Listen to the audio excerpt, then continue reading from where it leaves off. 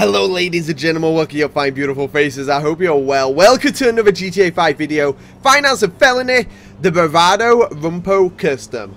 Oh my god, so it's probably the cheapest car that you can actually buy within this DLC, and I'm hoping that we can actually customize it and upgrade it. Now just looking at it, it is extremely customized, so I'm hoping we can change quite a fair bit on it.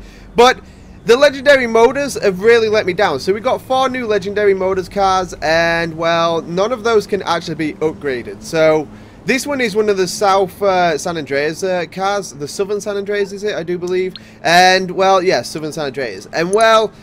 I hope to God we can freaking upgrade it. I mean, it comes in at 130,000, so that's pretty cheap. And I mean, it looks like an absolute beast straight off the bat before we even do anything with it.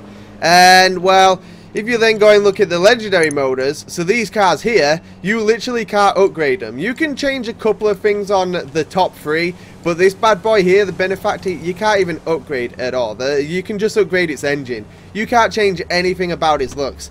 Now this looks like an absolute beast, and I can't wait to get it up in the mountains and get it up in the Rockies and just absolutely rag it. Or better yet, get it on the beach and absolutely rag it. Now I like the suspension that you can see just underneath it when we're going down and it is so freaking huge compared to all the others. Like, seriously, this car is an absolute beast. Like, look at the size of it.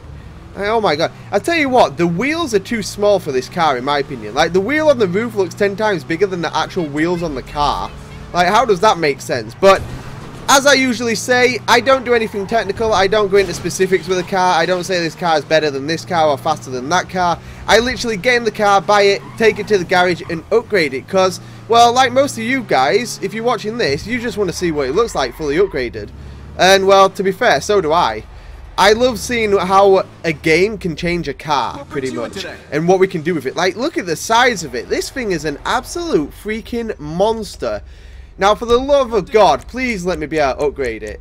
And uh, so far, we can't see anything. There is literally nothing that we can upgrade. Nope, so we can't change the bumpers, we can't change the hood, we can't change the roof, we can't do anything. Wow. So just like the Benefactor XLS, we cannot change anything about the car at all.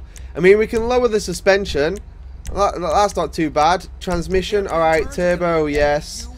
Wheels, uh, well, the wheels are kind of... Uh, the wheels kind of go with the car. The only thing is, they don't look big enough, in my opinion. No, wrong button. And you know what? Should we try and see if we can actually put some decent wheels on? I mean, look, it doesn't change the wheels at all. It just literally changes the alloy. And that kind of sucks, man. That's not really what I want. Um, yeah, this is not what I wanted at all. Again, I am extremely disappointed. Very, very disappointed. Like, how can we not change anything about the car? Like, we can change... Alright, so we can change the windows. We can change... Um, suspension, transmission and all that stuff like you normally would on any other of the cars. Brakes, yes. I mean, it's just... How can they put cars in the game like this and you can't actually do anything with it? Seriously. I mean, what does it look like if we respray it, say, in matte? A random matte colour. What does it look like? You know what? I'm going to go for the lime green, just because I can. I mean, this is so disappointing that we get all these cars that cost a decent amount of cash I mean, and we can't even upgrade a single one of them in terms of customization at all. This is really, really disappointing, Rockstar. In my opinion anyway. Guys, let me know what you think about this, but the fact that we just spent 130 grand on this car and all we can do is upgrade it, I mean, yeah, alright, it does kind of look decent without us changing anything about it, but still, I'd have liked some customization. I'd have liked some exhaust. I'd have liked some bumpers. I'd have liked some hood vents. You know? I'd have maybe even like to have changed the roof a little bit. Maybe get some luggage up on there. Get it like a full-on freaking... Oh, I don't even know. But, oh my god. As you can tell, yet again, I'm very disappointed. And I imagine you guys are disappointed as well. Because, well, this just sucks. Why add a game to a freaking game? Because this just sucks. Why add a car to a freaking game that we can't even upgrade? And the whole idea of GTA Online is being able to customize and do whatever the hell we want. Like, seriously. God damn it. Fucking hell, Rockstar. Guys, I'll see you later. I'm super annoyed. And, well, yeah. GG, Rockstar. Thank you for checking out this video. If you want to see some more, be sure to hit that subscribe button and smash that like. It would be greatly appreciated. And I'll see you in another video.